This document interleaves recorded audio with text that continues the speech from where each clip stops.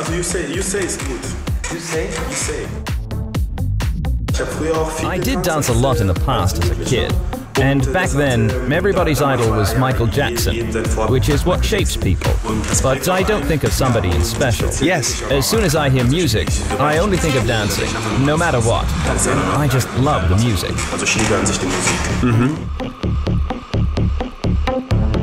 I mean, regardless of how good you dance, or if you're doing a choreography, everybody is dancing in his own way, even if it looks the same. Trotzdem anders rüber. Und man kann das nicht Yes, exactly. You can't generalize. That's right, you can't generalize that. You dance like this and he dances like that. Even if it is the same group, everybody adds their own flavor to the move. Yes, true. When I go dancing, I don't plan what I want to do in advance.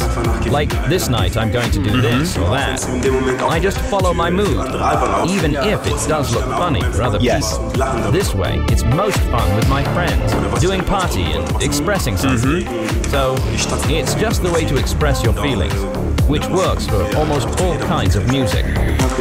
Good.